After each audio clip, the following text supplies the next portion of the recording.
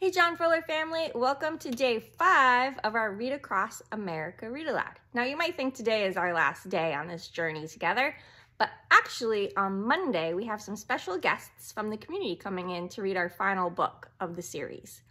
So, we've gone from Rhode Island down to Georgia, over to Arkansas, up and over to Colorado, and today's author, A.E. Ali, lives in California. Her book is called Our Favorite Day of the Year, and it takes place in a kindergarten classroom, and all the students get to talk about what celebration is their favorite, how they celebrate it with their family, and why it's important to them.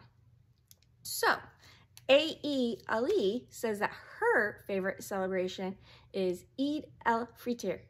So if you've never heard of that holiday, you'll learn more about it in this book, Our Favorite Day of the Year.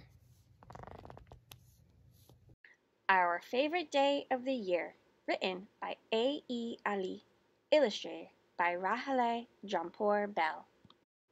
Published by Salaam Reads. On Musa's very first day of kindergarten, his teacher, Miss Gupta, said, Look around the room. You don't know them now, but these faces will become your closest friends this year. Musa looked at the three boys at his table. They didn't look like his friends. They were total strangers. A great way to make new friends is by sharing things we like. For me, meeting new students is my favorite thing to do. That's why the first day of school is my favorite day of the year. Musa couldn't believe that was true, and he could tell Moises, Mo, and Kevin didn't believe it either. This year, for show and tell, you will take turns telling us all about your favorite day of the year. That way, throughout the year, the class will celebrate it with you. Musa perked up at this. The best day of the year was definitely Eid. Surely Eid was everyone's favorite day. Musa sat with Moises, Mo, and Kevin at lunch. I don't get it, said Mo. The first day of school, how can it be anyone's favorite? How can it be more fun than Christmas? said Moises. My family doesn't celebrate Christmas, said Musa. Me neither, said Mo and Kevin. My favorite holiday is coming up, said Musa. Maybe we'll celebrate at school. A few weeks later, Musa and his mum brought in food and decorations for the class. Eid Mubarak, said the sign. Musa taught the kids how to say it. On Eid al-Fitr, my family goes to the mosque to pray early in the morning, and afterward we have a huge breakfast. Family and friends come to the house all day to eat food and bring presents. People eat all kinds of food, since Muslims come from around the world. Musa shared Malawa, Yozang, and Rose Lassi. Everyone could see why Eid was Musa's favorite. Soon it was Mo's turn. Shana Tova, said the sign. Mo stood at the front of the classroom and said, Happy New Year! My family is preparing for the Jewish New Year of Rosh Hashanah. Mo taught the kids how to say it.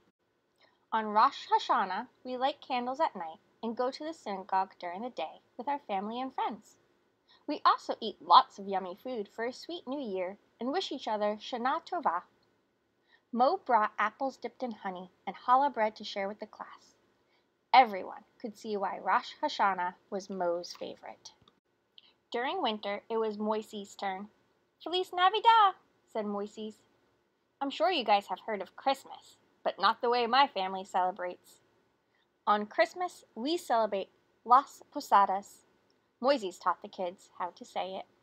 It lasts nine days, and we decorate the house with flowers, wreaths, and lanterns. We sing songs, drink ponche navideño, and hit a piñata. On the ninth day, Buena Noche, we go to church at midnight and open presents when we get home. Moises brought ponche navideño and a piñata for the class. Everyone could see why Christmas was Moises' favorite. That spring, it was Kevin's turn. Happy Pi Day, said the class. My family celebrates science, said Kevin. Pi Day is on March 14th because 3.14 is a very important number in math.